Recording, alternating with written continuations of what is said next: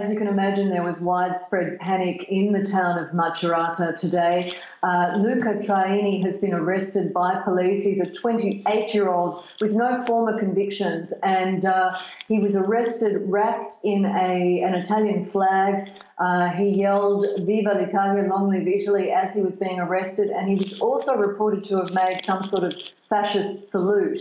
Now, it's not clear whether this crime was carried out today uh, as a vendetta in relation to the gruesome murder of Pamela Mastropietro, the 18 year old who was dismembered, but a Nigerian has been arrested in relation to that murder. So we're waiting to find out more about the motivation of uh, Traini, if indeed he is charged by police today.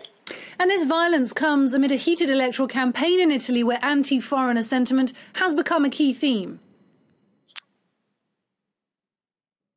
Yes, this is certain to electrify Italy's election campaign. We have national elections taking place on March the 4th.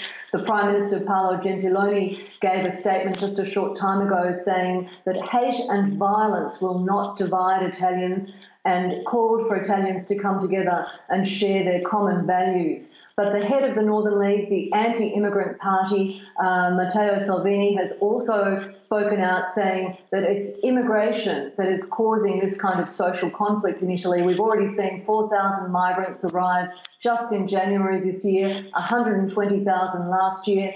This is a huge political issue going into the Italian election in early March.